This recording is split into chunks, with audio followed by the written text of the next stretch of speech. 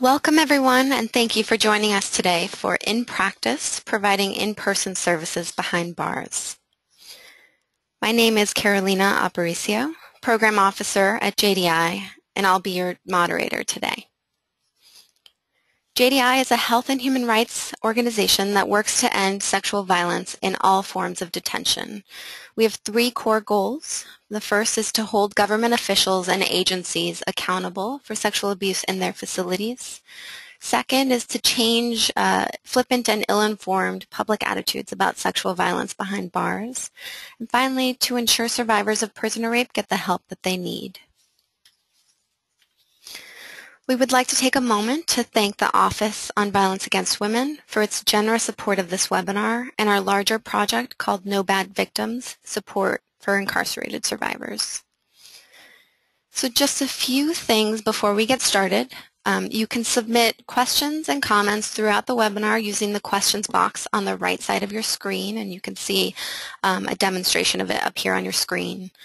Um, this webinar is being recorded and a link to the recording will be emailed to you um, later today um, or where you can access it. Um, along with a link to the evaluation. Um, and just a note that the recording will be closed captioned. This webinar will also be posted on the JDI website. Please make a note of the link on the screen.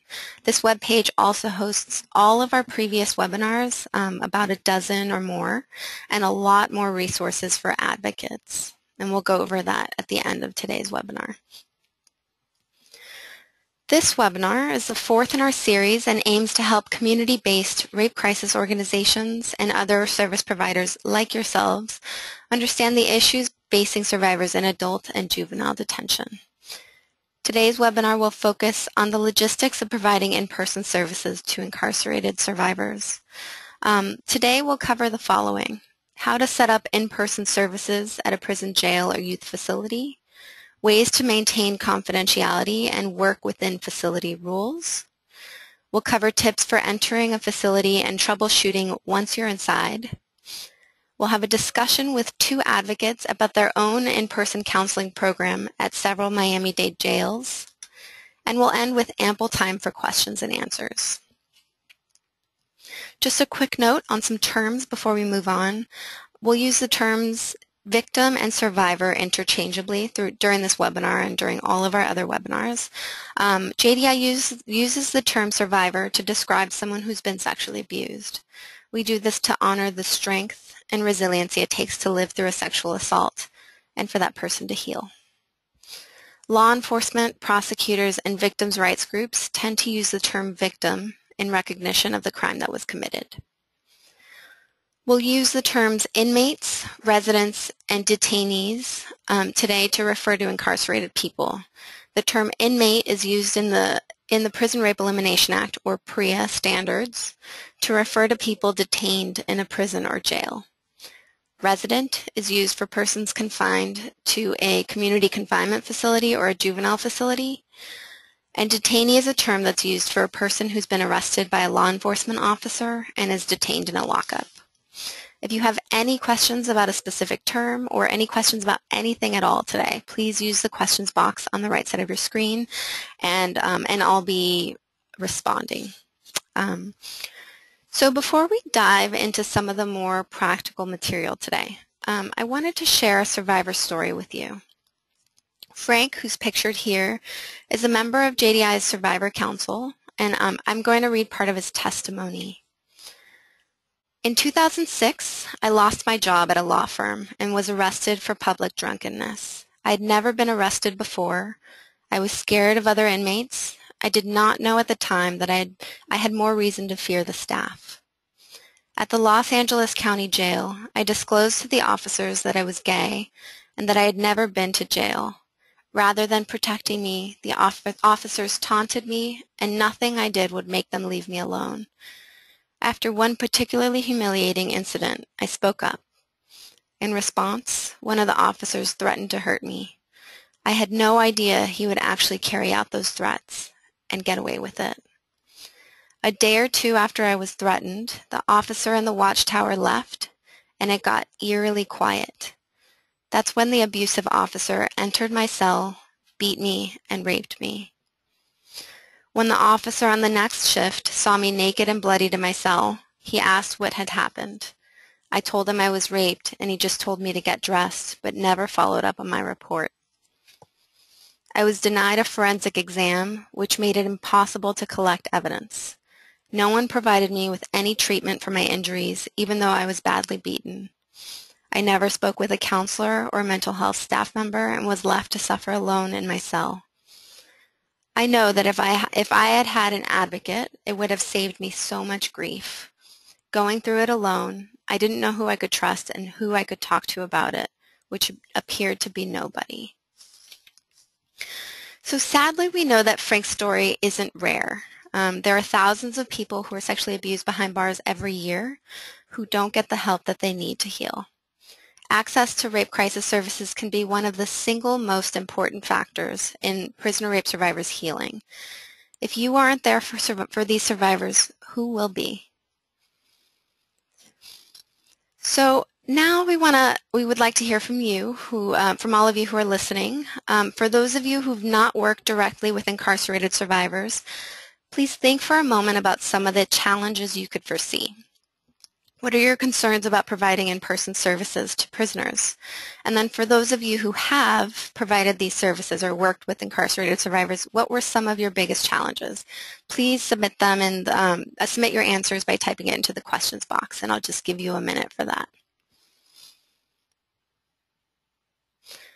I have concerns about confidentiality, safety issues, lack of training, um, lack of privacy with corrections officers, um, mandated reporting issues, safety, privacy for the inmate, challenge being cleared to enter the prison, um, lots cultural competency, logistics. So a lot of these um, clear clear boundaries. We're getting a lot of great great answers, and honestly, they're really common concerns. Corrections officer attitudes, retaliation to the inmate for seeking services, resources. So it sounds like you all are, are seeking a lot of great, um, or seeking answers today. And I hope that um, a lot of what we covered today will, uh, will answer some of that, some of your concerns. So common concerns we've heard um, from lots of folks in the field, fears about one's own safety, um, Many of you fear for your own safety, of course, or that of your colleagues when working with incarcerated survivors. Um, many of you may fear for your own safety. Um, you may also worry about difficult or challenging corrections staff, so some of these attitudes that a lot of you were bringing up, including differing understandings of confidentiality. And so we'll definitely go into that um, in detail today. And then finally, how to provide services in a very um, restrictive environment, such as a prison, jail, or a lockup. Um, and hopefully we'll address most of these today, including some examples later from um, Jamie and Eleanor, our guest speakers. So thank you for that. Um, I'd now like to introduce you to Linda McFarland, one of JDI's Deputy Executive Directors, who will go over some of the logistics of providing in-person services behind bars, including how to set up your programs, troubleshooting, and tips for working in facilities. Uh, to Linda's a licensed clinical social worker with decades of experience working with survivors of sexual abuse in various settings. She's also worked in a youth corrections facility as a custody staff. Um, Linda's provided training to thousands of rape crisis counselors and corrections officials on providing services to incarcerated survivors. Welcome, Linda. Thanks so much, Carolina. Um, we're going to turn now to reviewing some of the setup work and planning that needs to be done for in-person services in a detention facility. During our last webinar on the inside, we went over memoranda of understanding or written agreements in some great detail, and that webinar is available on our advocates resource page as are sample MOUs for you to take a look at. Specifically thinking about when developing your MOU for in-person services, it's important to start with who is eligible for your services. Throughout this webinar, I'll make the point, and, and Jamie and Eleanor later will as well, that it's always important to go back to your policies and practices for any survivors. What are those agencies' policies, practices, procedures related to other survivors? Who's eligible for services in your agency, and how do you make the decision that someone is or is not. The process for incarcerated survivors really can and should be quite similar.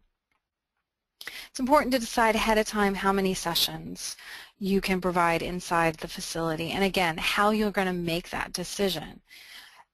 Will you offer follow-up services only? Um, will there be short-term or long-term? Are you going to do groups?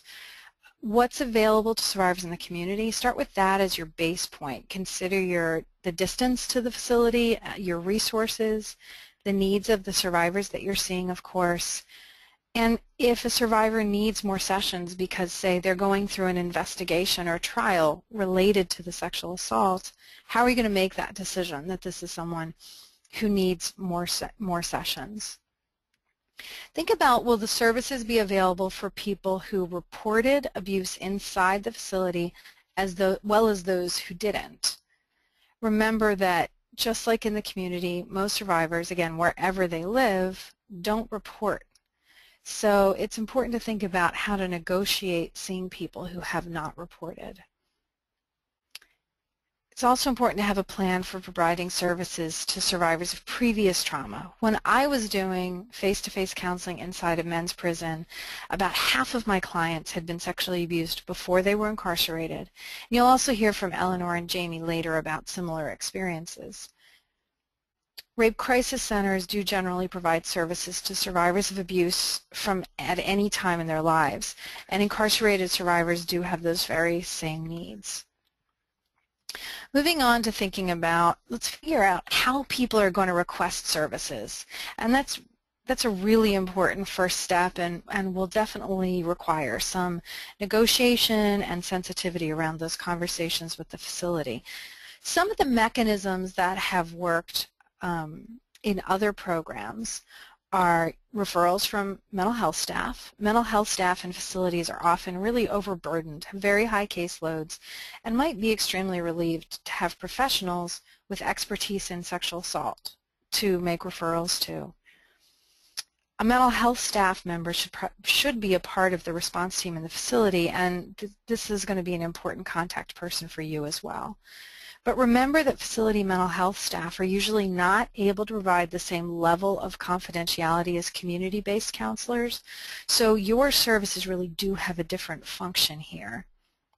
And I should note that if you're working in a small facility, there may not even be regular mental health services available.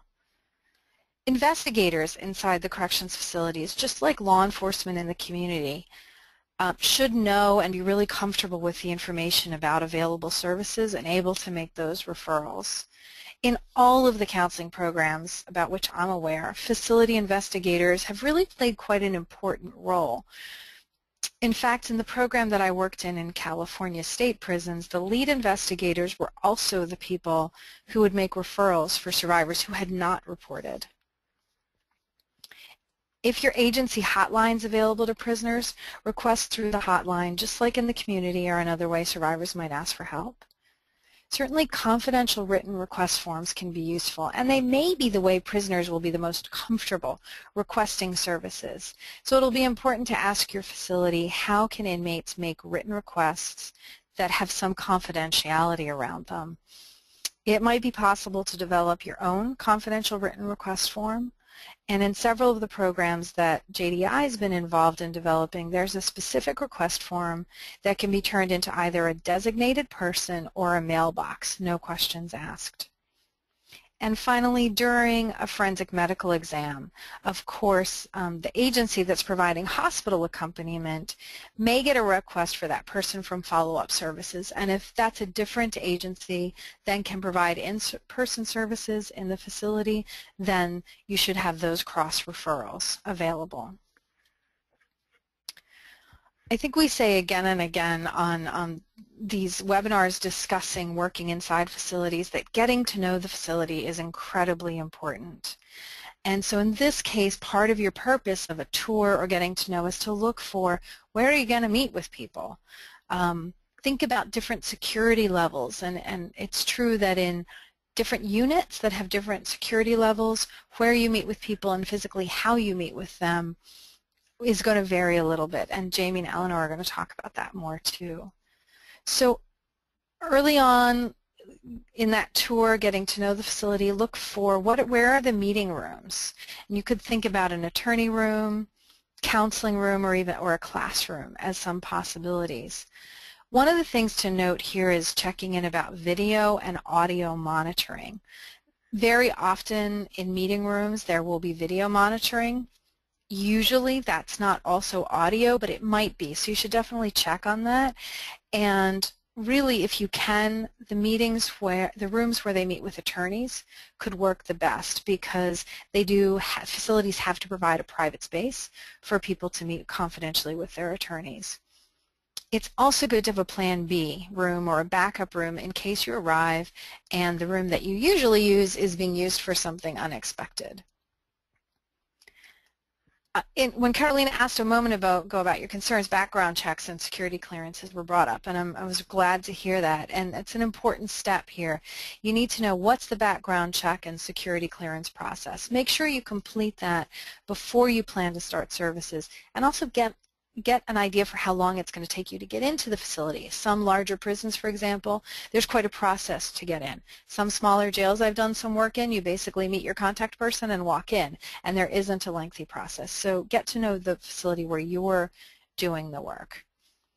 I can't stress enough the importance of getting to know the facility rules and participating potentially in an orientation for volunteers if that's available. So what rules, what are the ones you need to learn is there an orientation class or meeting that you can attend or even written documentation? All facilities do have a lot of rules and a lot of structure, so it's important before entering a facility that you know what they are.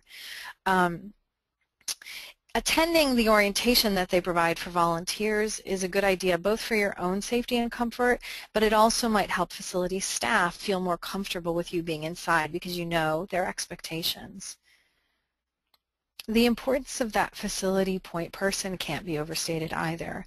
Get to know the person, their concerns, develop a way that you're going to work together because this is the person that you can go to for troubleshooting and to help you meet the needs of your clients. Just like your room, though, have a, have a plan B or a second point person in case you arrive and your usual person has been called away for some reason. Right, confidentiality was brought up quite a bit in in the concerns that you all submitted a little go, bit ago, and, and it is perhaps the most critical and thorniest piece to work out. So spell out the details of your agency and your state requirements around confidentiality in your Memorandum of Understanding or your written agreement. Be prepared to engage in challenging conversations about this with the facility staff one important point here to remember is that the rape crisis counselor or advocate will always have an obligation to maintain confidentiality unless there is a clear, legally defined reason to break it. On the flip side, corrections staff approach, often approach confidentiality from the opposite direction with the perspective that everything should be reported unless there's some clear reason not to. And both of these perspectives are legitimate given the professional roles of the people who hold them, and they can also coexist. But it does take some negotiating and some cross-training. It's really not unlike building a relationship with a new law enforcement agency in a SART. So for the advocates, talk about the importance and the significance of confidentiality and the reasoning behind it for rape crisis services. Remember that corrections staff may be legitimately concerned that if the survivor can talk to you confidentially, he or she not, may not report. And their legitimate concern is that their job is to keep the facility safe. So if they don't have information, they feel they can't do it. But talk to them about the fact that survivors who have confidential support are more likely to report and more likely to stick with an investigation if they do report. You could also point out that every other person the survivor comes in contact with on a daily basis is a mandated reporter of any crimes that occur within the facility. So there's ample opportunity if the survivor wants to report. Having access to one confidential source of support will not mean they're less likely to report overall. Your, your informed consent form should be quite detailed, and we'll go over um, that in some detail later in the webinar. Um, release of information is important. Part of the reason this your a release of information that is two-way both gives you permission to speak to a named and specific person at the facility, so someone who has the power to say change their housing or check on them if you're concerned about their safety. Um, but also then gives you permission to receive information as well, say from mental health staff or housing staff. This is another place where you can go back to your policies and procedures for other survivors and adapt it as needed. And your release of information really should be essentially the same. But one benefit of the release of information here is that it, it will really reinforce to your clients that your services actually are confidential on that note, adapting and looking at all of your um, counseling forms and materials is going to be important. The con informed consent form, there might be some differences around the limitations of confidentiality.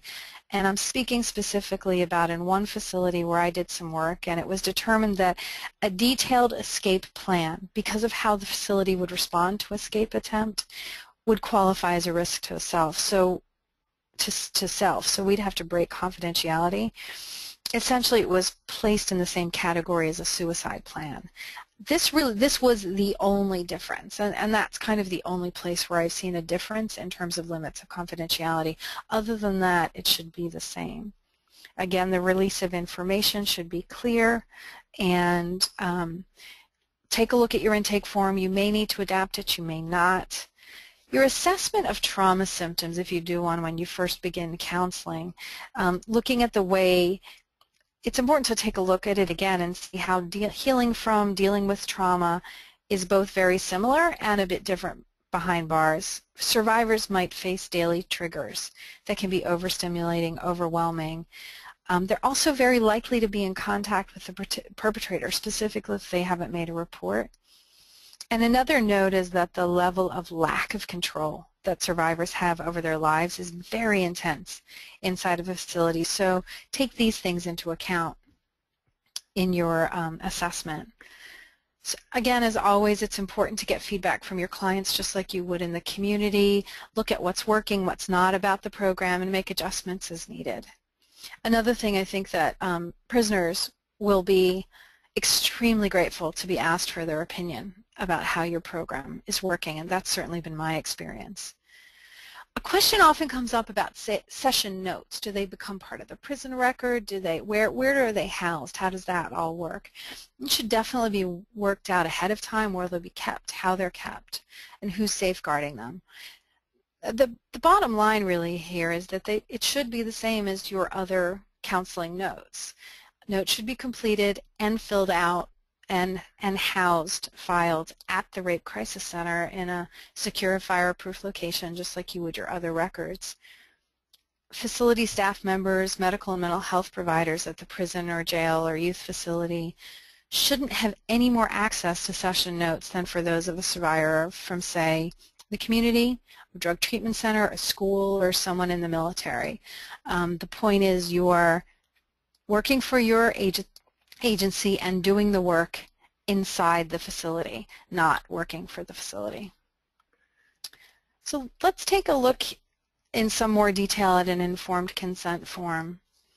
Um, this is a sample here. It's available on the Advocate Resources page of JDI's website. I'm going to go over, I'm just going to pick out a few aspects to go over in some more detail. Spell out how many sessions. This one says up to 10 sessions. In this case, that was based on the community standard of the center that was providing the services, and it's here just as an example. Look at what specific services you actually can provide, making clear that your services are independent of those at the prison, as I mentioned a minute ago. Survivors who are incarcerated may have to see this in writing, and I, I certainly found that this helped with building trust. Building trust that the services are independent and confidential takes more time with incarcerated survivors. It's always important to highlight both the benefits and the risks of services, namely that there could be an increase in symptoms or anxiety at first. Many people haven't ever had the opportunity to receive services before and they might not know that. Um, so it's important to point that out. Be very specific about what services you can and cannot provide. Incarcerated survivors are very likely to ask you for other requests like general therapy, medical help, or legal advice, right? They have limited access to other resources while they're inside, so they're quite likely to make other requests of you because you're there, right? So go back and think about how do you handle other requests, off-topic requests from other survivors. You deal with that anyway. You're often the only free services available in the community, so you, you know how to do this. Set limits. Make it clear that there are that these are crisis counseling services about healing from sexual abuse. And if someone can't participate in those services because of other things that are more pressing from them, you can of course make referrals and offer to resume sessions when they're ready. Also make clear that participation is voluntary. Incarcerated survivors might not know that, particularly if they were referred by a staff member at the facility or participating in an investigation. Right, legal and ethical considerations section where you lay out your boundaries and a note about confidential record keeping is important. Make sure you set clearly the limitations of a professional relationship. This is for your protection. It's also for the client's protection. And it's for the facility as well to be more comfortable and, and understanding and getting that these are professional services. Um, Jamie and Eleanor will talk about this again in a little bit as well, but that very often the corrections staff might not be um, familiar with rape crisis services, might not know what your role is. And so setting out that this is a professional relationship, that you're familiar with keeping boundaries will be helpful for everybody. Some things might be slightly different from your general informed consent form, and an example here is what you will or will not bring in or take out of the facility. Again, something that should be laid out here that you might not talk about in a community consent form. Limits of confidentiality are always a you know sort of fundamental part of an informed consent form. Write it out in detail, make it very clear, offer your client um, the opportunity to ask questions about what this means and what would that look like. Um, for the most part, as you can see for many of you, they'll look the same. So get to know your own agency policy, review state and local guidelines, mandatory reporting guidelines, emphasize to the facility and, and sort of reconfirm for yourself that your legal obligations to clients don't change based on where your client lives. Um, I've found that a great many people don't know that adults have the right to decide whether or not a police report is filed when they're the victim of the crime themselves. And you might have to explain that. It's definitely something I've found many corrections officials not to know. They assume that as a counselor, if I hear of a crime, I have to report it. And so again, going back to when work when setting this up, working with the reasoning for behind that. And you'll see um, here as well the added you report that you intend to escape the institution was added to this one again because of the way that specific facility responded to escape attempts. Again, this that the the informed consent form we just reviewed is available at our website, and um, you you can feel free to review it. You can also um, send us questions with specifics about it, either here through the webinar chat box or at our email address that we'll give at the end. So it's important to think about how will you work with survivors who have not and do not want to report figure out how they're going to request services and set up appointments. We'll talk about that a little bit more in a minute. Um, work out ahead of time with your point person how everyone's going to get to the counseling room. The program that I worked in developed several ways for survivors who had not reported to request the services. The survivor could request to see the counselor through a facility mental health staff member or the lead investigator, neither of whom would ask follow-up questions. Survivors could also write a letter to the rape crisis counselor or um, write a note that was delivered to a private mailbox at the prison that only the counselor checked. They could, um, it's important to build these relationships with your partners at the facility so that you can have sensitive conversations about some of these issues and even disagreements about them without jeopardizing the program. So talk with your point people, um, the people who might pass on requests for services to you about not asking for more information when someone requests an appointment. They may be asking for sessions regarding something that happened when they were a child, for example, and that's not something that they need to disclose to the facility. If they do ask questions, remind them of, um, of the confidentiality guidelines, or make sure you're prepared to give a somewhat vague answer that doesn't violate confidentiality. Remember that you might have an escort to the counseling room. Um, in some larger facilities you probably will, in higher security facilities you will. In lower security facilities you, you might not and you may be free to move about the facility yourself once you're comfortable. But be prepared to talk with the security staff that you come in contact with about why you're there. So what do you do if a staff member won't let you see the survivor unless you tell them what the conversation's about? I, you know, I can't let you in this room with this prisoner until you tell me what it's about. So work out what you'll say ahead of time. I'd also work with your point person on determining this. You could say that you're working with investigators, that you're here to do interviews, and honestly what I used to always do was name my point person.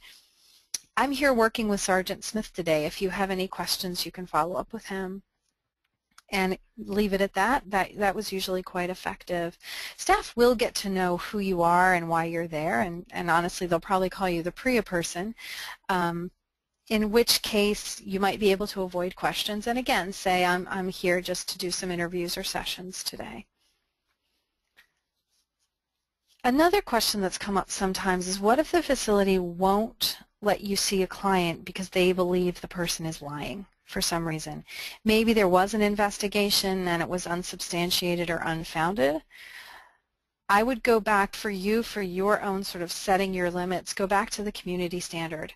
Rape crisis centers do not care about the status of an investigation, how a report came out, right? We understand that many cases that survivors report rested unsubstantiated or may even be um, unfounded.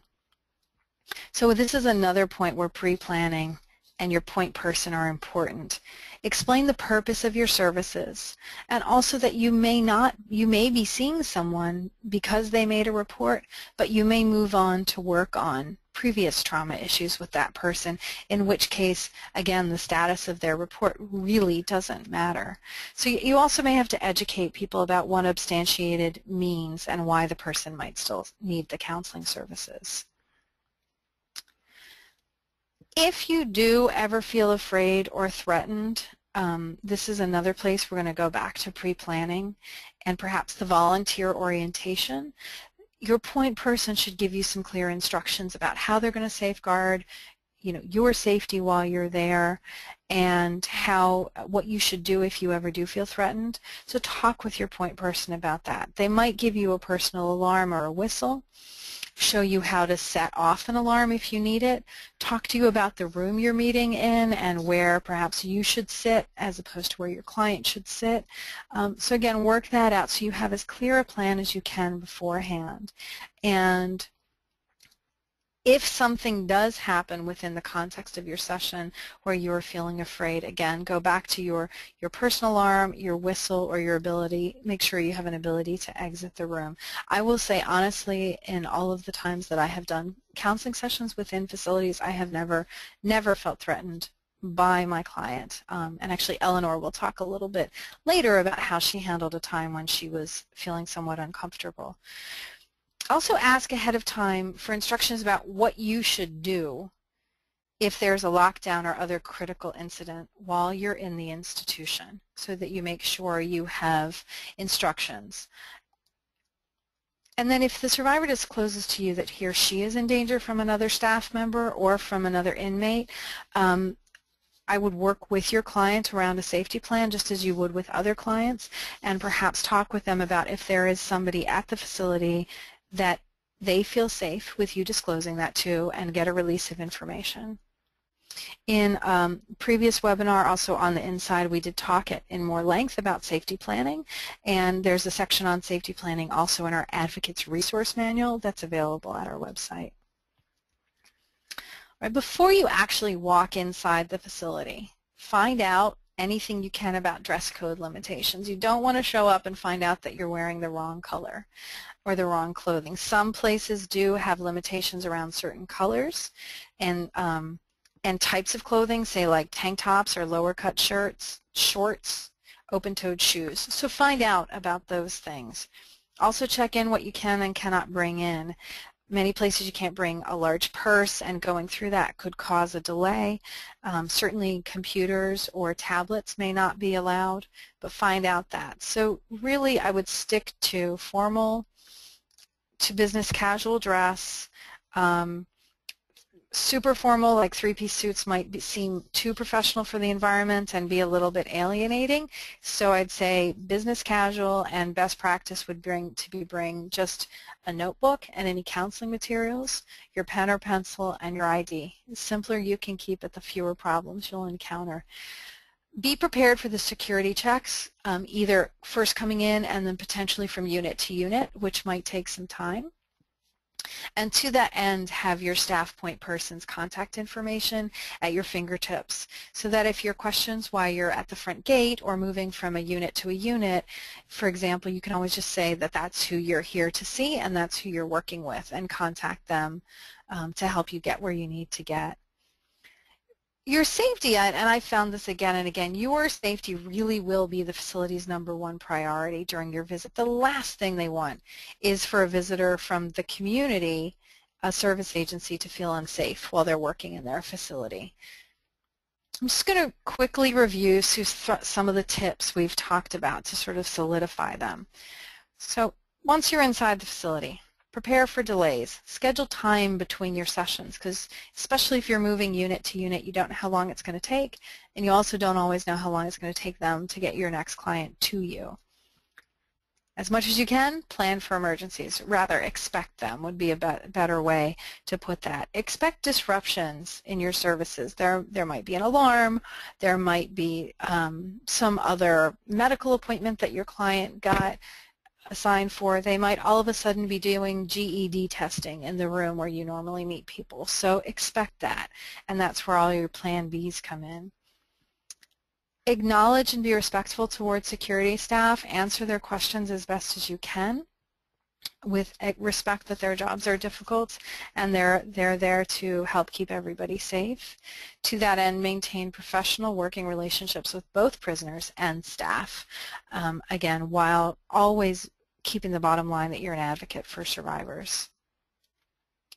Follow rules around contact with prisoners. There may be rules around personal contact like shaking hands or even being physically close. That's something, again, I'd talk through with your point person, but generally a best practice would be to keep a professional sort of personal space difference and distance rather and, and not, not physically touch your clients in this setting. Patience and flexibility are definitely the keys um, to doing this work. Make your appointments ahead of time and also call to confirm them before you arrive so that you can find out if, for example, you're not going to be get, able to get into the facility today. Also have a mechanism to inform your clients if you can't come in that day for some reason. And then also check in with your contact person before you start your day. Talk about where you're going to be, how you're going to get from place to place, and then also make sure you let them know before you leave.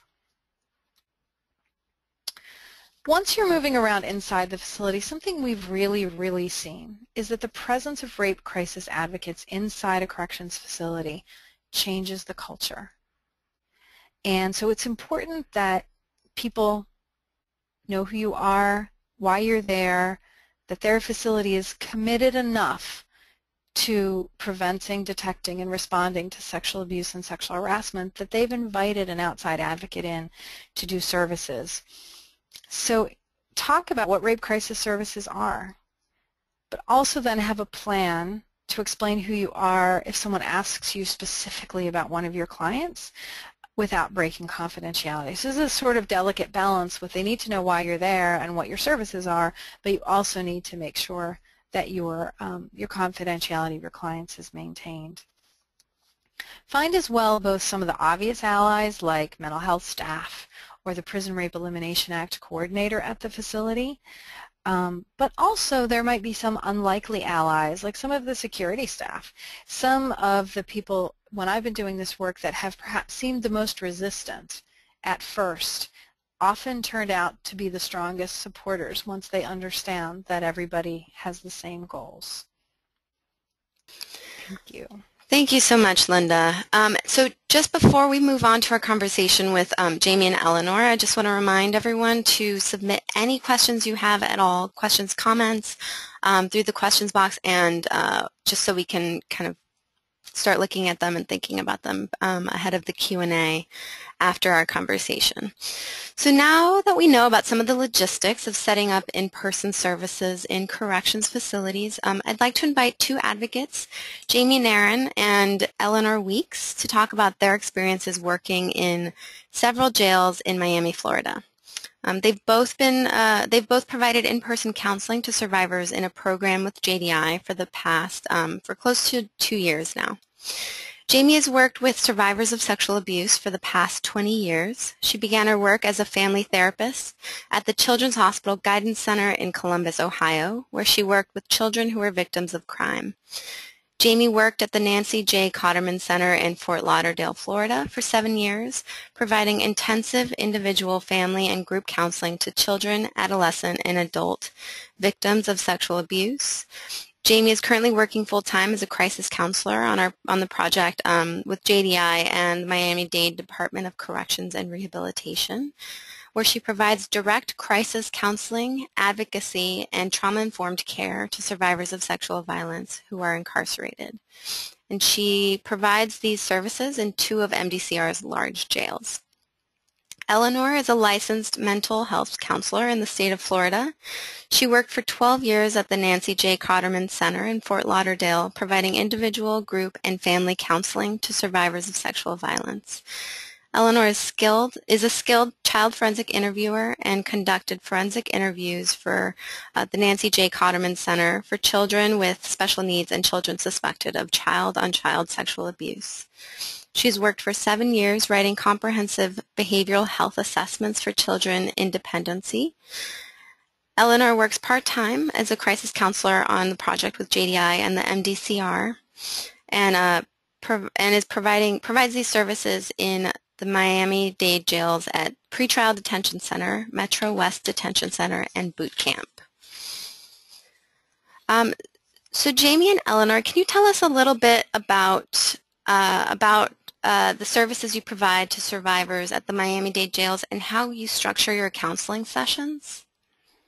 Um, hi, yes, sure. One of the facilities I work in is TGK facility, which has over a thousand beds. I generally will start my first session by explaining to the client exactly what I do, why we're there, and talk about confidentiality in detail. I think explaining that is so important in order to build trust and rapport, and so they have the, have the right understanding and expectations. I make it clear that I don't work for the institution. I share JDI's Hope for Healing booklet, which gives them a little information about typical reactions of sexual abuse. We use the informed um, consent form that Linda just went over, and I usually go over that with the client in the first session as well. I try to leave it at that for the first session, not to overwhelm the client. Yeah, and during the second session, we do uh, the trauma analysis with the client, and we try to set, you know, at least three goals that they want to achieve during the counseling, and, and we also review their history with them. You know, I let them know that I'll take, I'll need to take some notes, but that, you know, we can review them afterwards. And, you know, I feel that it helps to build trust with them. And then by the third session, we come up with a treatment plan that's more specific um, for each client that we're working with. Great. And, and how have your clients responded to these services? Um, generally, I found that people are very eager to participate but they have no idea what to expect because they've never had treatment before. Most of our clients have been victimized their whole lives, but they have never received help to deal with the trauma. I found that many of our clients have experienced sexual abuse as children and as adults. That's probably why they're incarcerated for the first time, for the first place. But their often issues are trust, probably due to their incarceration and life experiences. You know, I, I think that the, the counseling services they're getting from us is, is usually the first time that many of the incarcerated survivors have really been able to assess what works for them and, and how to heal from their lifelong trauma. You know, I help them look at this as a, as a possibly a positive time and, and that they can use this time to get stable and, and to get help. They're so grateful to have someone listening who treats them with dignity and respect. They always want more and they're always eager to learn. Um, and I also encourage them to continue services after they've been discharged. Thank you. Um, I know that many of our listeners, as as they mentioned earlier when we um, asked the question about concerns, um, are expressed expressed that they're a fear about their own safety when working with this population of survivors. Um, have have you, Eleanor? Have you ever felt concerned about your own safety? You know, I have never felt unsafe or, or threatened. I, I think that it helps with establishing rapport with the clients. You know, my, you know how I, you know, kind of react or act with them. I work a lot in the psych ward of the pretrial detention center, which is the main jail in Miami. And the inmates there wear either orange or red uniform. It's based on either the severity of their illness or of their crime.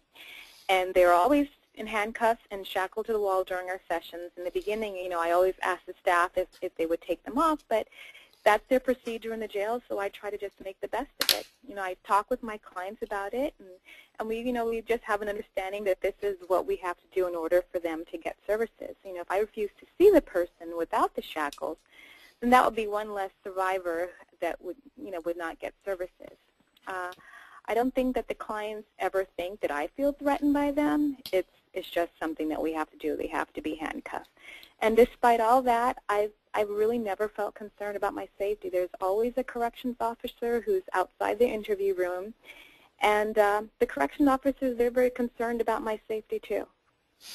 Thank you. I mean, I think I think as Linda mentioned earlier, really every time we've gone in, it's been sometimes the staff have been more more worried about our safety than than we have. So I think that um, you know hopefully that that reassures people.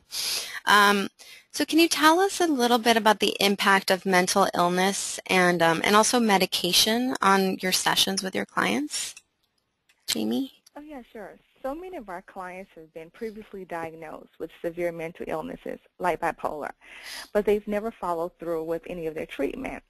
Now that they're incarcerated, they're placed on medication for pretty much the first time, and we talk about that. If they know their diagnosis, that's fine, but I encourage them to understand their illnesses and, and the medication. So when they leave here, they can continue their treatment. I'm not doing therapy about mental illness, but it's important and it's a part of helping them to build uh, coping skills and have a better understanding. Yeah, right. You know, we, we talk about it as it's related to healing from trauma, and part of that is, is taking care of themselves. You know, I have a lot of clients who have never stayed on medication when they're in the community, and I try to help them plan how they can take care of themselves you know, once they're released and, and, and if they truly need the medications, that, you know, it's something that's helping manage their illness and it will help them have more control of their lives, which ultimately helps them to continue to heal from their trauma. Many of them have turned to drugs or alcohol or, or dangerous coping mechanisms before, and helping them see how those things hurt them, again, as related to the trauma, is a, is a big part of the sessions. Just like Jamie said, very few, if any of them, have really had the opportunity to have counseling services before their counseling sessions with us. I think that connection is really important because we know that so many people who are incarcerated um, do have a mental illness and often a severe mental illness. Um, so it certainly has has um, would impact your your uh, sessions. But I think that's um, I'm glad to hear how you've worked through it. Um, can you give us an example of how you've worked through um, other challenges with a client, Eleanor? Well, I also work at a different facility called Metro West Detention, and I was a little nervous when I had my first client there because the where the setup it at, the, the setup I was pretty far away from the correction staff, and the inmates in, in that jail don't have to be handcuffed. It's it's a very huge jail. It's about the size of two football fields back to back. And I remember that when I met my first client there, I, I realized he had a pretty severe mental health issues. He was very excitable. He you know, kept standing up. He wanted to show me how much weight he had lost, and he kept lifting up his shirt. I, I gave him a piece of, you know, a, a handout about um, rape trauma symptoms, and I remember he tore it up because he said he couldn't read it. So he, he definitely took a, a little bit of getting used to. And uh, by the third session, I remember I just laid it out to him and said, listen, you know, I think we both feel comfortable now, and I'm kind of getting a, a little understanding of how you, you know, what you're like.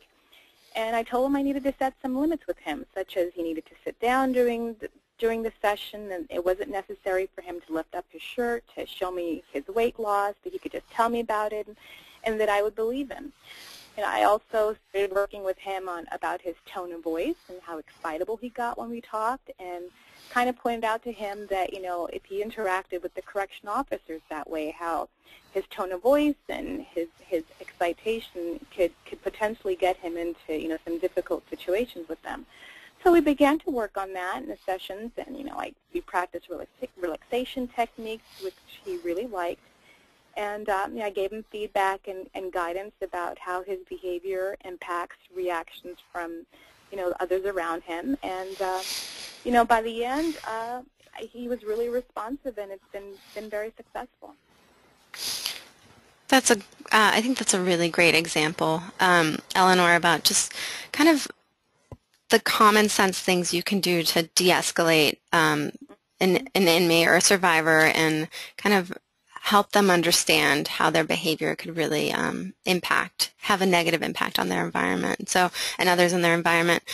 Um, and it just illustrates how important it is to treat inmates just like you would seeing someone in the community. You know, you you get an understanding for what their situation is, their kind of their environment, and how they can um, how they can cope. Um, recognizing their signs of trauma, obviously. Um, so that I know that a lot of times advocates will need to advocate for their client's safety um, to the facility staff. Um, Jamie and Eleanor, can you give us an example of a time when you had to advocate for one of your clients? I'm sure. I was working with a woman inmate who had a history of sexual abuse. She told me that sometimes some of the male correction officers would just open the door and come in her room in the middle of the night. But she thought they were supposed to announce themselves before coming in. That was really triggering for her because of her past abuse. The officers didn't sexually abuse her or harass her, but she felt a little violated. I told her that I didn't know the policy, the facility policy, but I will go and speak with the lieutenant and find out. I reassured her that I wouldn't tell them that she was the one who was asking. I made sure to get her permission first. It turned out that the officers are supposed to announce themselves, and the lieutenant said that he would speak with his staff. The next week when I saw the client, she said that the male officers were now announcing, male on the floor, and she knew that I had spoken with the lieutenant. Um, she said that she felt safer and more secure. Yeah, we, we do a lot of advocating, you know, just letting the, the inmates know what their rights are.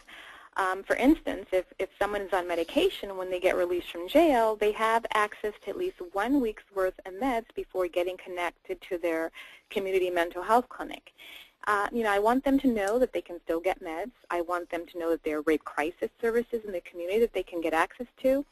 And if a client needs to see the nurse or needs other referrals, we, we try to make that happen. Survivors have lots of needs, and we and we can't meet all of them, but we can offer referrals and advocacies uh, to help them along the way. Thank you for that reminder, um, Eleanor and Jamie. Um, Jamie, I think that was a great example. You know, we know that prisoners don't have a lot of resources. You know, like people in the unlike people in the community, they don't usually have many people who will listen to them. And so I think understanding that as advocates, we'll likely get some of these kind of off-topic requests, like um, providing you know, legal or help with their cases on legal help or, um, you know, help with food or whatever. And so, you know, we do what we can, but it's also important to know that, um, know who at the facility you can refer them to, which I know that the two of you have talked to me about before. So this is quite a new population, I think, for most advocates who are listening in. Um, what about some tips for working with incarcerated survivors specifically? You know, I think it's important um, not to talk about why they are there and or why um, or look into why they're locked up. Working in the community, we wouldn't do that, or we uh, we wouldn't have that information. We usually have no idea who's walking into our office. It's so important to treat incarcerated people the same way. Also, some of my clients in jail um, have pretty short attention spans, so I try to redirect them. We do a lot of therapeutic exercises, and I give them handouts and homework sometimes. Inmates in the jail have a thousand other things going on, and so being able to practice redirecting um, them is very important. This is very new information for most of our clients. They haven't learned this before. We go over the resources that are available to them in the community. Many don't know there are agencies that can give them the help they need. We developed a resource guide for their areas. The guide includes mental health agencies, shelters, food banks, all of the things they will need to get back on their feet.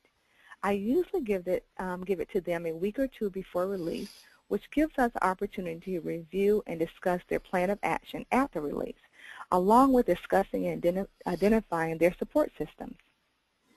You know, I would say that they are some of the most grateful clients I've ever had. They always do their homework, and they're blown away when I come to see them. It's it's it's very rewarding and for us that they, they are able to stay so engaged in the therapy services. Thank you for those really helpful tips. And, you know, it's, it's nice to, to hear that, um, that these are some of the most grateful clients that you've had because it's, I mean, we've definitely found that working in the field. So thank you. Um, we see people who've gone through trauma having difficult having difficulty with day-to-day life behind bars. Um, it makes that makes people nervous. If a corrections officer is nervous with dealing with people who are unstable, it could really escalate and possibly get out of hand. Um, they may not necessarily understand where a survivor is coming from. But I know, um, Jamie and Eleanor and, and all of you listening, by your presence and talking to people, you're also training staff to recognize trauma and to not overreact. Um, so Jamie and Eleanor, have you noticed a shift in attitude in this way by staff at, at the MDCR facilities? Um, yes, definitely. I was approached by an officer who said that when he first met me, he thought I was just this touchy-feely advocate. But then he said he had a situation with an inmate where he thought about me, and he thought about being more compassionate. It was very rewarding. I know that our presence there is really changing things. I hope that other agencies and therapists are interested in providing these kind of services also. If we can help trauma victims while they're behind bars, I think we can help stop the cycle. There's so many benefits for providing these services. Yes, uh, you know, the officers have definitely gotten used to us. We've had to be patient and understand and respect that this is their territory.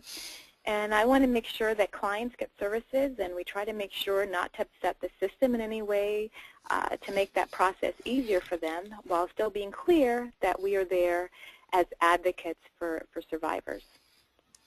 Thank you so much, Eleanor and Jamie. Um, it really was wonderful to hear about, um, hear how you've worked with incarcerated survivors in Miami and handled what you know, are some real challenges and inspired hope, but also inspiring hope and healing for survivors who would not have received help if not for you. So thank you so much for your work. Um, and uh, I'm sure we'll have plenty of questions for you um, in a little bit during our Q&A. So I will circle back with you then. okay. Okay. Um, so we'd love to hear from, from you all. I hope that Eleanor and Jamie's experience have given experiences um, have given you some things to think about and maybe have inspired you to think about how you can work with incarcerated survivors. Um, so thinking about what they described, survivors you may have heard from, and the opportunities for healing, we'd love to hear about what you might be most excited about or looking forward to regarding providing in-person services to survivors behind bars. Is there something that you were particularly worried about that you maybe expressed at the beginning of this webinar um, that you now feel more motivated to do or to work through? Um, please submit your answers in the questions box.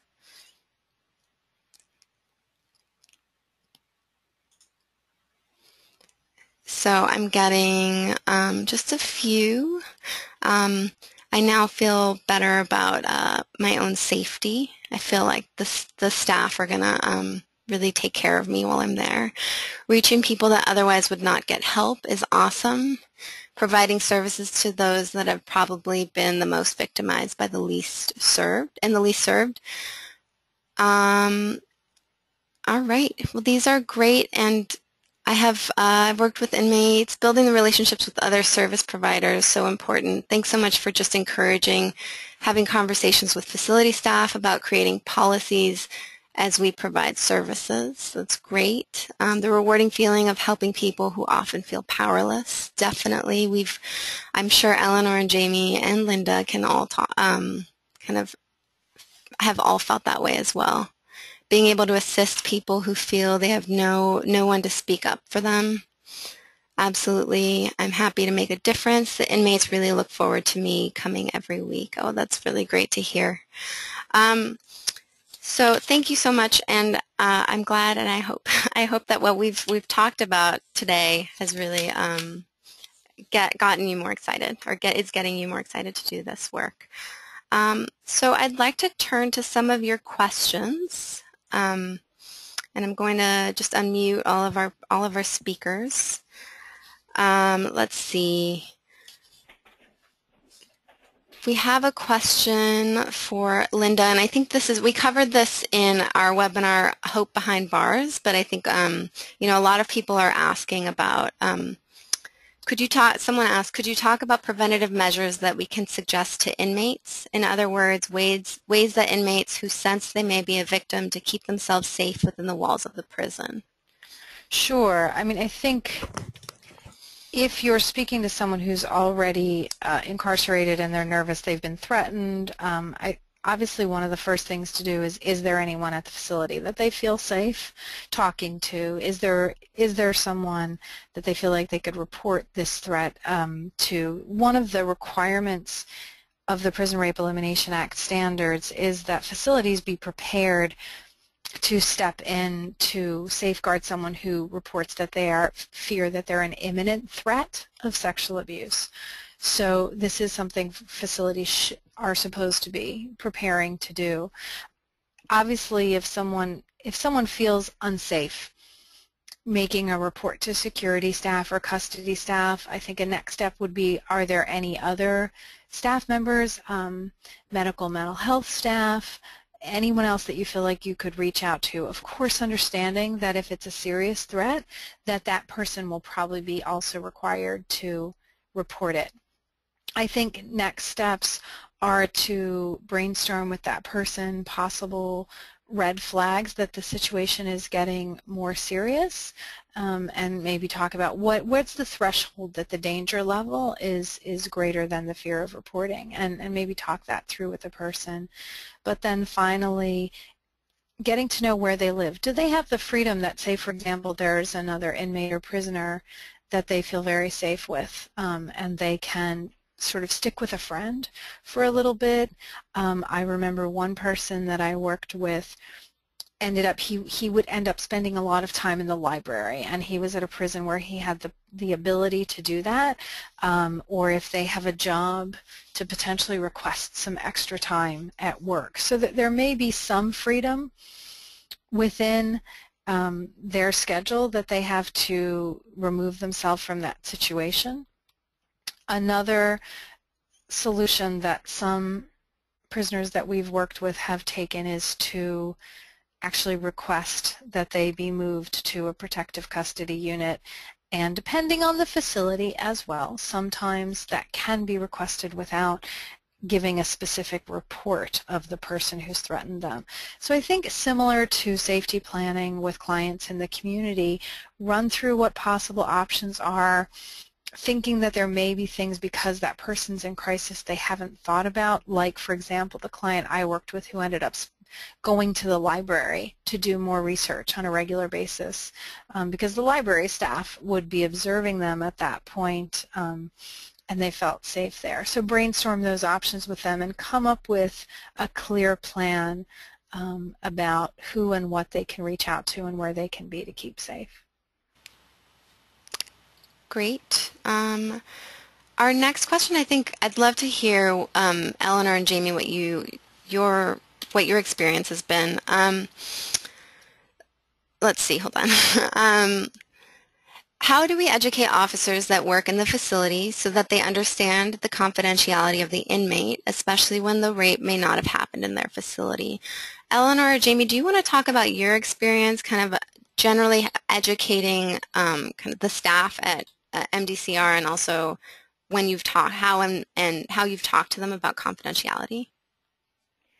You know, this is Jamie. I find that, um, like I said, a lot of the um, officers are very, very eager to, you know, to kind of work with us. So what I try to do is build rapport with officers, and then when they see me speaking or meeting with a um, client, and they have questions, they do come and talk to me about well, suppose if the inmate is doing this, how do I handle that? Or, you know, what is he saying or what is she saying to you back there? And then that's when I just kind of educate them about the dynamics of confidentiality and about uh, the dynamics of giving, um, having a, um, inmates know their rights and have a better understanding of how the inmates might feel.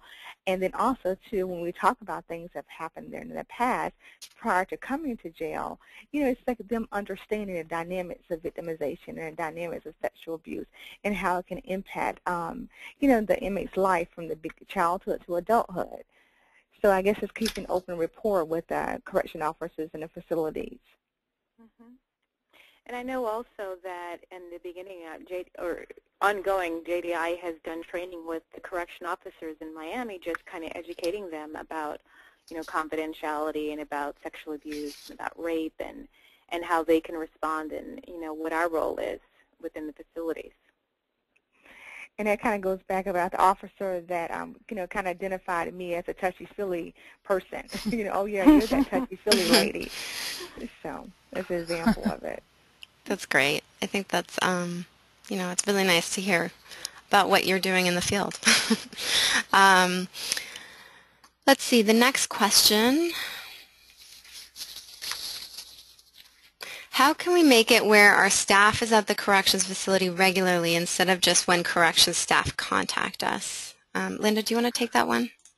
Yeah, sure. I mean, and I think Jamie and Eleanor do the same thing, sort of have a schedule. Um, again, when I was doing work at the, the prison where I, where I did counseling, I basically had a set day of the week that I went up. And so if I, I didn't have a set appointment for an hour, I could take a walk-in. Um, if so, if something had come up, or or go meet with facility staff that I needed to discuss some issues with. So I think that um, that was another way that we were able to protect the confidentiality of people who didn't want to report was that someone could sort of come by and ask me a question. And again, that a lot of that really depends on the setup mm of the facility where you're at, right? I'm talking about I was doing um, services on a large prison yard where prisoners had some freedom of movement um, throughout their day, whereas at many, for example, jails like you know, where both Jamie and Eleanor provide services, um, inmates don't have freedom of movement, you know, from cell to cell or outside of their unit. So, but they, you still can decide that I'm there, you know, every Wednesday or something like that, absolutely. Um, and that way you can see people a little more easily, sort of on an emergency basis. Yes, okay. TGK, I'm there on Monday, Wednesday, uh, Monday, Tuesdays, and Wednesdays. So mm-hmm. usually when I go on a regular basis, I kind of know what day and what time to expect me of entering the floor. If yeah. by chance that that floor is closed down or something is going on on that floor, I just go on to the next unit or the next floor. And then mm-hmm. if in between clients, I might check in with um, lieutenant or the front office administration or the clinic just to make sure there are any questions or any referrals or anything I need to follow up on. So I'm kind of there on three or four days a week, so they kind of know what days that I'm going to be there. So when they see me, they, you know, know that I'm going to be there. So I have a set mm -hmm. schedule that I go mm -hmm. Yeah. Great. And then, so here's kind of a more another more practical question. How much time? Someone asked, how much time should I spend with my client? Um, and maybe Jamie or Eleanor, do you want to talk about kind of do you what you guys provide do you have a set amount of time do you is, are they longer sometimes because of x or y reason Um, on average, uh, you know, it's just like a, a regular therapy session. It's, it's 50 minutes and um, during the session. And, uh, you know, if, if there's a crisis or anything, then of course we would go over if, if, if our client is having some kind of issue or something else is going on that requires um, extra time. And I know that Jamie's had some situations that she's dealt with that she can probably talk about where she's actually seen her clients, you know, uh, twice in a week because of things that were going on that really required that. But it's, mm -hmm. it's mm-hmm. you know, the average therapy session. And also, too, um, like we might, like uh, for an example, if they are uh, they're getting ready to be released within a day or two, and we're going over the resource guide, the support system, and just kind of identifying, working with them, um, what their fears are, what you know, what are they worried about, what are their thoughts about being released, because some of them have been there for a while, and some of them have fear about going back to the community, back to the same neighborhood, back to the same environment, and the triggers that are there. So those sessions, usually the last session, I kind of take a little bit more time um, to just kind of go over and just kind of make them feel a little bit more comfortable and, and address some of the issues that they might have. Um, also, too, if you know if I know that a client has a very short attention span, um, then I notice that if they're the conversation is getting a little overwhelmed, or they are a little more tired, or they just kind of seem distracted, at that time I'll go, okay, well we'll you know end today. Um, I'll see you next week. So that time I might shorten the sessions based on the person's attention span or kind of what, what they're feeling that day. Great. Um, here is an interesting question, um, and any of one of you can chime in. Um, we do not meet survivors face-to-face, but behind glass. How would you suggest using the informed consent form um, and gaining their signature? It generally takes two to three weeks for the inmates to receive any mail from us. Um, I had that situation. I, I, had a client who um, had been placed in the secure housing unit after the reporting an assault uh, essentially was determined for his, his own protection. And um, and we had a choice of meeting um, either with him in a, in a small holding cell or behind visitor glass. And I left that up to him and he chose the in the visiting unit behind glass. And um, and so what I actually did was I, I have a the point the point person that I was working with, um, I was able to give my forms to him and he handed them directly to the client and then we talked them through um, when he was behind the glass and then um, we then I, I got the back with the signature.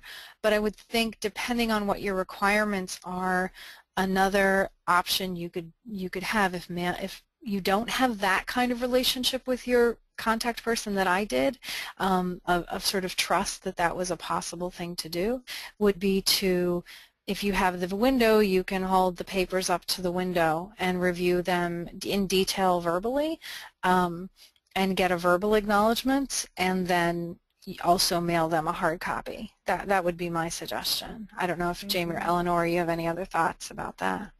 I would agree. Holding it up to the glass and going over it in detail and um, then following up, sending them the hard copy. That's what I would suggest.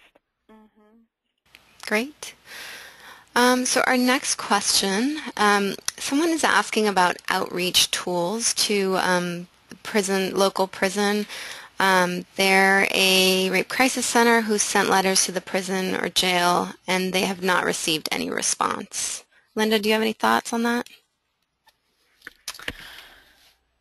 Um, sure. I mean, thinking about that, that one of the things that they're required to do at this point is to make an attempt to enter an agreement with a local rape crisis program who can provide emotional support. And so if you've sent a letter, I, mean, I think my next thing would be to find out, if you haven't already, and you may have specifically, who is the Prison Rape Elimination Act coordinator at the facility and direct it directly to either them or the, the warden potentially. Um, and I would refer to the, the Prison Rape Elimination Act standards in your um, in your uh, letter saying that you know that they're at this time probably looking for an organization who can provide emotional support services per the Prison Rape Elimination Act standards and that you are willing to talk with them about your agency providing those services. Um, I mean, I think, again, for them, that requirement to become in compliance with those standards is probably the most compelling thing, and I would definitely refer back to that. But I would make sure you, if you can, find the PREA Prison Rape Elimination Act coordinator at the facility. Because others, if you send it to the warden, I mean, there may honestly be people at the facility who don't even know. Right. Um, great points. Any, Jamie or Eleanor? Um, no, I have no comment on okay. Um, I thought Linda I think Linda first. said it. Yeah, she yeah. Yes. okay, great.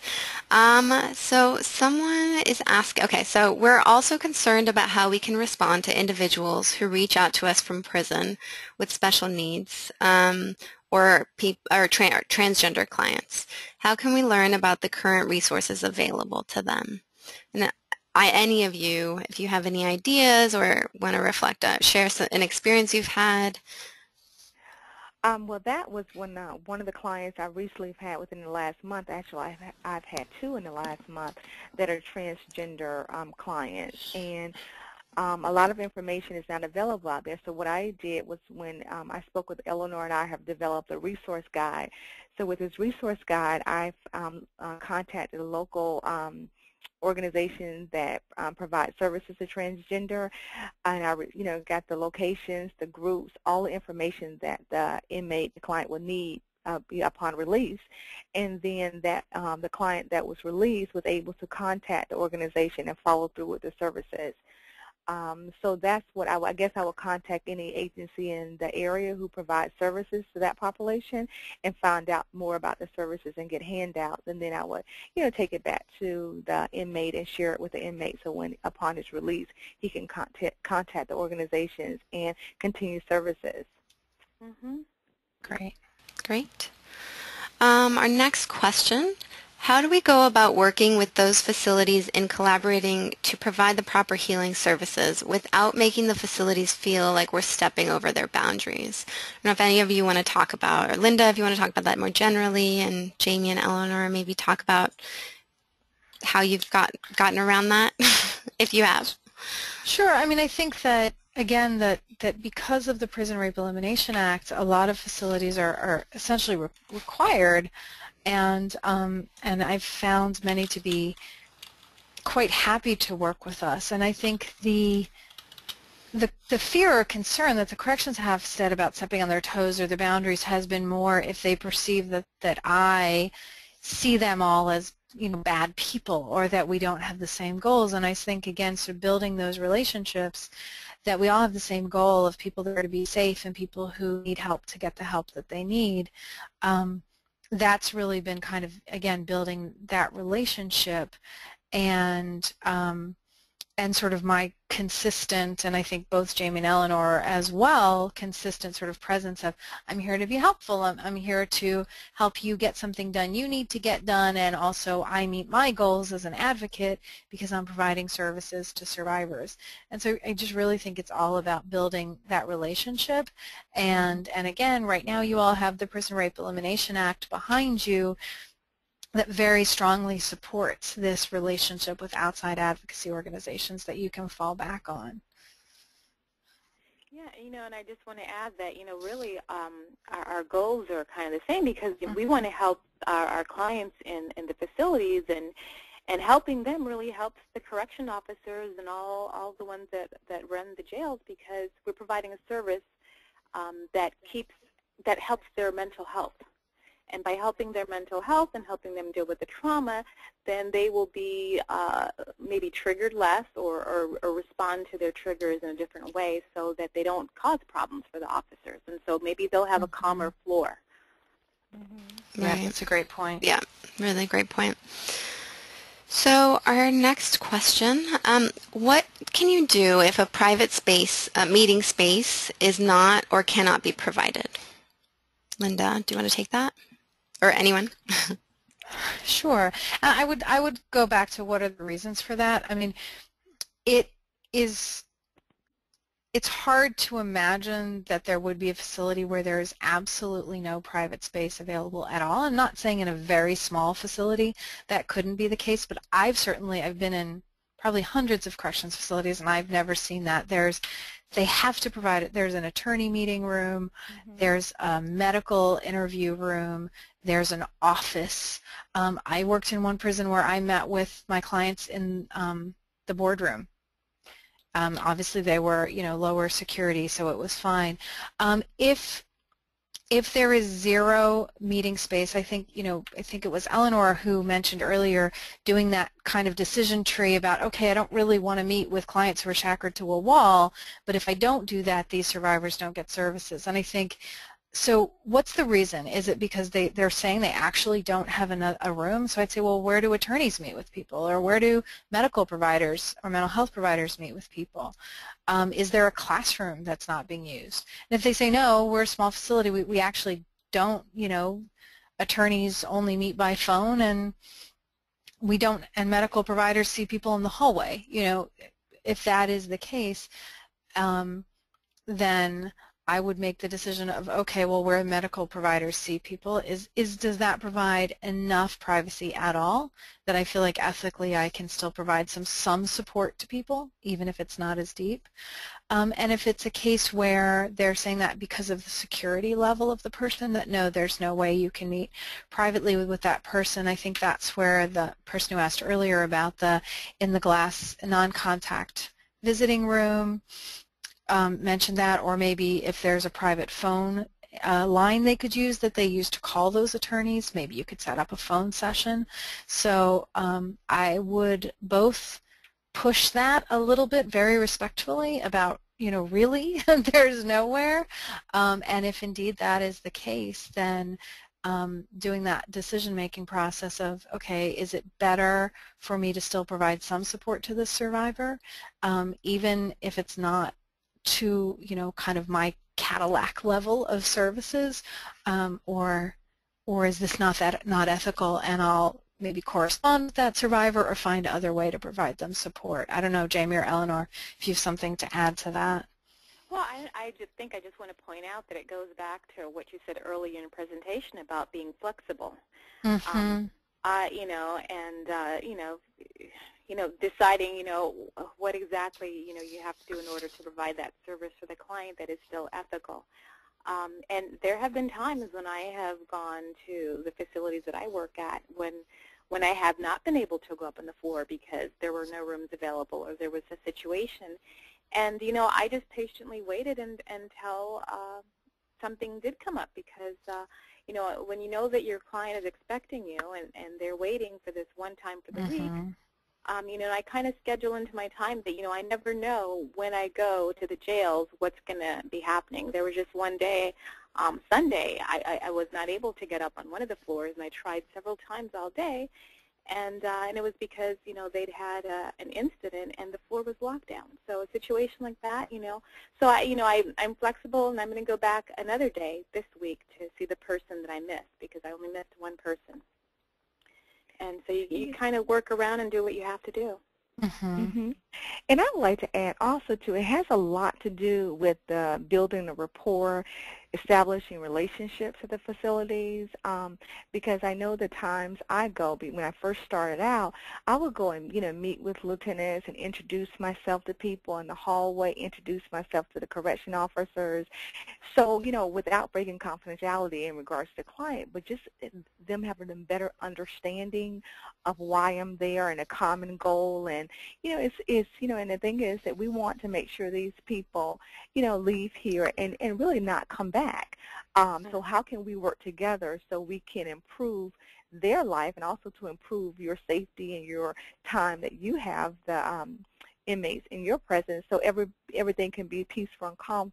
calm. But I think that has a lot to do with establishing rapport and building relationships mm -hmm. with the facilities um, and the workers and the correction officers and administration so they can you can build a rapport with them. I think that helps a lot with you know in situations when they they don't have any spaces. They at that point in time they'll try to you know accommodate you more because they have a better understanding of what you why you're there and your purpose. Thank you so much. I think that's, you know, all really helpful, I hope. Um, so I think that's all the time we have for questions today. Um, if we didn't get to your question, um, please email us um, at advocate at justdetention.org.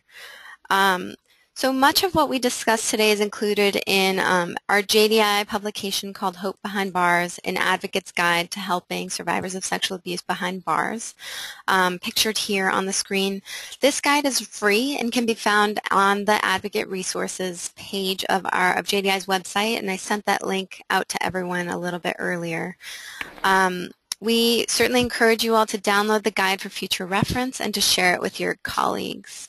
Um, and so if you have any questions or technical or, or need technical support, you can always contact us again at advocate at justdetention.org and we'll get back to you within two business days.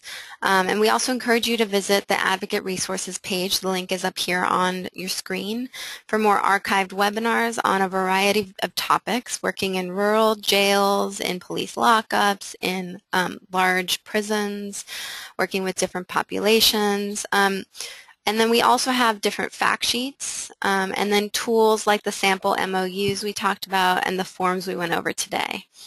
Um, and that link is, is just up here. Um, JDI also has a resource guide for survivors of sexual abuse behind bars. Um, it's a guide that lists legal and psychological counseling service resources by state for survivors who are still incarcerated, those who have been released, and loved ones on the outside who are searching for ways to help. And we get contacted by all of these groups of people constantly. We receive about 2,000 letters um, and, and lots of phone calls um, a year. So if your agency is interested in being listed on our resource guide, um, please fill out the form found at the link right here. It's the bit.ly link on your screen, um, and we'll include We'll also include the link in a follow-up email, which you'll get you'll receive later today. Um, and thank you so much for joining us today. Um, please take a moment to complete the evaluation and provide us with your feedback. Um, we take it very seriously. We have a lot of webinars um, in the next few years, and we really want to make them as useful for all of you as possible. So the evaluation link is up here on your screen, and you'll also receive it in an email shortly. Thank you so much. Um, again, our resources, all of that information is up on your screen, um, and we so we really invite you to like us on Facebook, follow us on Twitter for more opportunities um, to take action and more survivor stories um, and lots more. So thanks again and have a wonderful day.